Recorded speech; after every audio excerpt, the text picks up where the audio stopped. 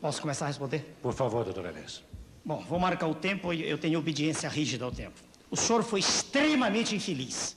Aliás, isso é próprio do que o senhor escreve. E agora o senhor me permite, eu só falo. Eu o ouvi com atenção. Primeiro, eu não ofendi o candidato PT. Nem tenho nenhum preconceito. Eu tenho um conceito. O problema é de preparo o seu para se exprimir. Eu tenho. Um minutinho, por favor.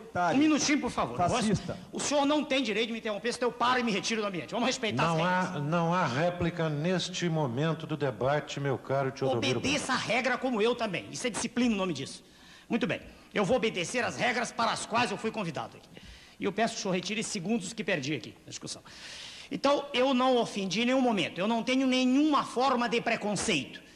Nenhuma forma. Eu tenho um conceito estabelecido.